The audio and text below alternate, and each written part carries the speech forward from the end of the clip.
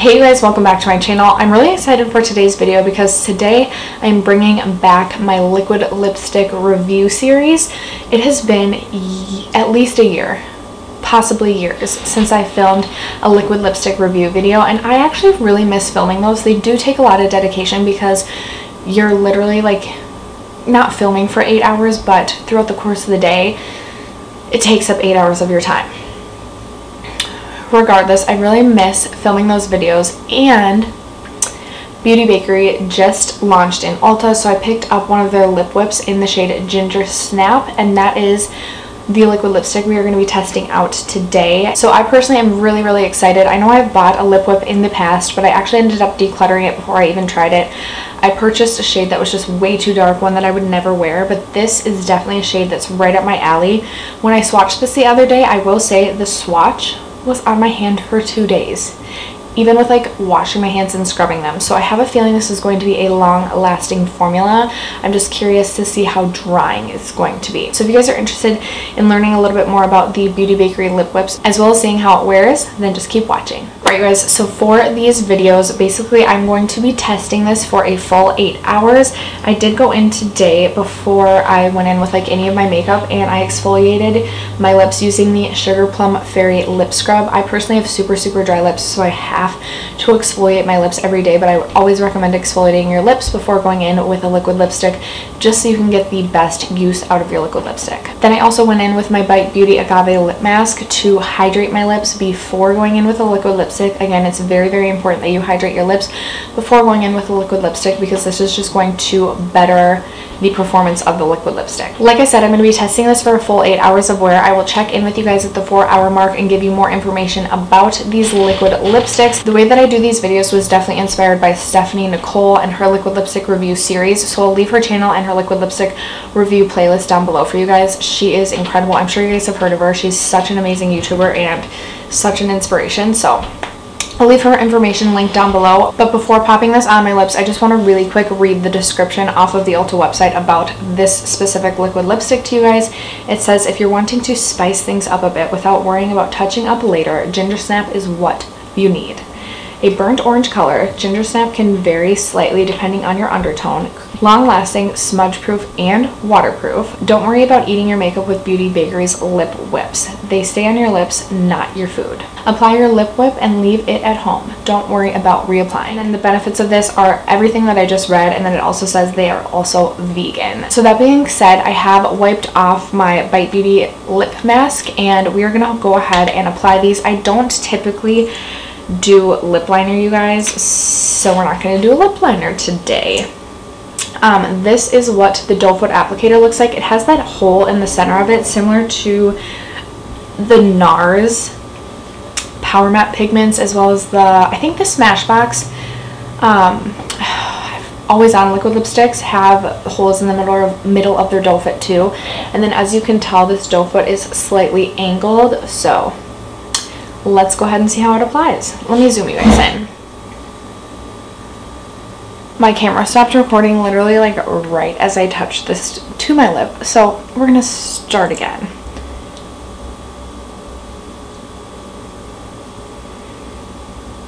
I like that this hat, the doe foot has like a pointy tip to it so it's like easier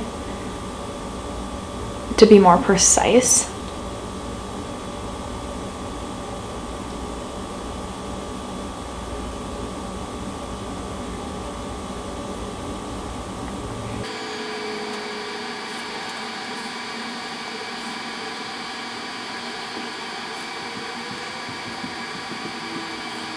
I will say it's taking like dipping in a couple times just to get enough product. But that's fine. Okay, so pretty thin consistency. I almost want to say it's like in between a liquidy formula as well as like a whipped mousse texture. It's like a really interesting texture that I've never felt from a liquid lipstick before. It is just a little bit sticky as it's drying down. However, it's drying down very, very quickly. It definitely applied super, super opaque. I didn't feel like I had to go over anything twice and it didn't apply streaky as, at all. I just feel like there's like one area I didn't apply so precisely. That's like really gonna bug me. I don't feel the need to do a second layer or anything like that. The only thing I will say about this is I felt like I had to dunk in a few times to get enough product to cover my lips, but I'm not complaining. That's I'd rather have to dunk in a couple times and get too much product and have lipstick all over my face. As far as the color is concerned, I am well obsessed with it. I think this is a beautiful, beautiful color, especially for the fall time. So can't complain at all about the color. Trying to think if there's anything else I really have to say about these before I go about my day. I don't think that there is.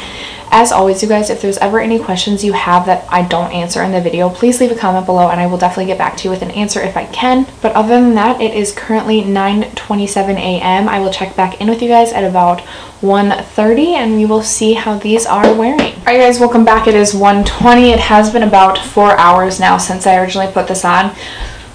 And I gotta say, I'm so far not impressed. Let me zoom you guys in so that you can see the wear away really quick. So as you can see, first of all, my lips look like raisins, but there's so much wear away, specifically on my bottom lip here. So I will say that I drank a hot cup of coffee as well as drank out of my Hydro Flask water bottle.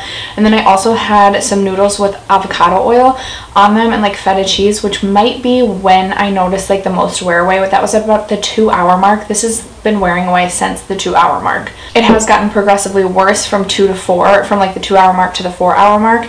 And overall, I'm just like not impressed at all. I am lucky that this lip color sort of like blends in well with my lips because if this was like a darker shade or a lighter shade that you could really see the wear away in my lips I would be looking so so crazy right now. This also has proven to be a very very drying formula. I've noticed myself licking my lips a lot.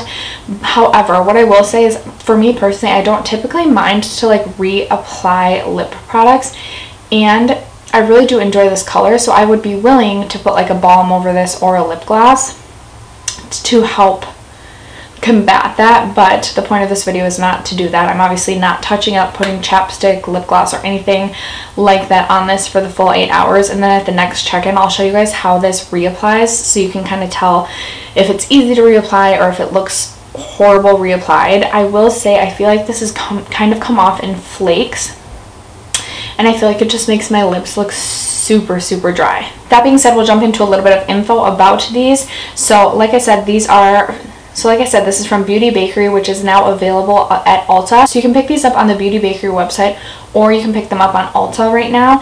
They are $20 for one liquid lipstick, which is very, very pricey. They have a 12 month shelf life and it comes with 0.14 ounces of product. In comparison, a dose of colors liquid lipstick retails for $18 and you get 0.16 ounces of product in there, so you're getting a little bit less product. It's been so long since I've done a liquid lipstick formula review that I kind of forget what the standard is. There are nine different shades to choose from and they're all named after like desserts or like foods or things like that, which I think is super, super cute. The packaging is really cute. So you get this frosted glass or frosted, it's actually plastic. You get the frosted plastic tube. It has the golden beauty bakerie one and then it has the cute teal cap. So I think the actual packaging is really, really cute. And then on the inside, it almost looks like, I don't want to say like a candy cane, but it does look like an actual like whipped baked good product. So I mean A++ plus on the packaging. I think they nailed it with that. It also has a lip whip sort of like engraved but not engraved. It's like raised on the cap.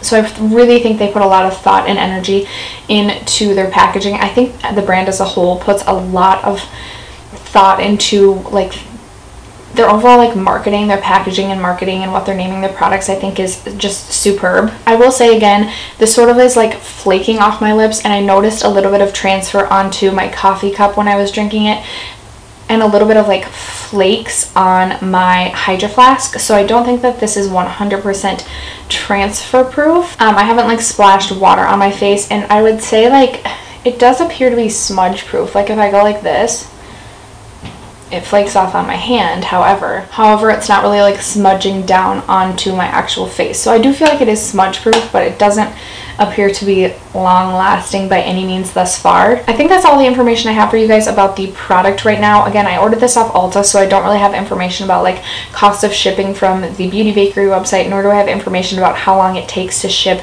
if you order from Beauty Bakerie. I do know some Ultas are carrying certain Beauty Bakerie products in store, but I think it's only select stores, so I just ordered mine off of line. That being said, I'm going to go about the rest of my day for another four hours and I will check back in with you guys at the eight hour mark. We'll see how this reapplies and then I'll give you my final thoughts and opinions on the Beauty Bakerie lip whips. Alright you guys, it is 5.08. It has been just about eight hours and I'm going to zoom you guys in in just a minute to show you the wear away. Between the last check-in and now, all I've done is drink one more cup of hot coffee and then I've also just been sipping water out of my hydro flask and I did have one bag of these like little pop chips. But other than that I haven't had anything to eat so this wear away has been pretty much just from like wearing away. So this is what we're looking like. Here. As you can tell it's not looking good. And if you can imagine I went to the grocery store looking like this. So that was cute the one thing I will say that's nice is this does wear away nicely, but I feel like part of that is because of the color. Like, I feel like if this was a darker color, we would be like a wreck right now. Like, we would be looking all sorts of hot messy. So what I'm going to do now is see how this reapplies because if it, if it reapplies okay then like you can just bring this with you i will say the formula got more and more drying as the hours went on it's been so long since i've worn a, lip, a liquid lipstick for that long i was pretty uncomfortable Okay, but we're to see how this applies.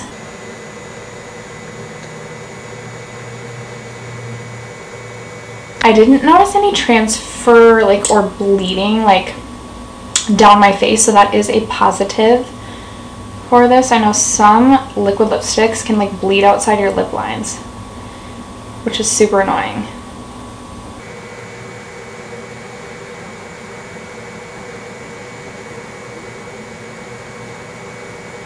Okay, so that did appear to reapply really nicely. I didn't get any sort of like weird flaking or pilling or clumping up or anything like that.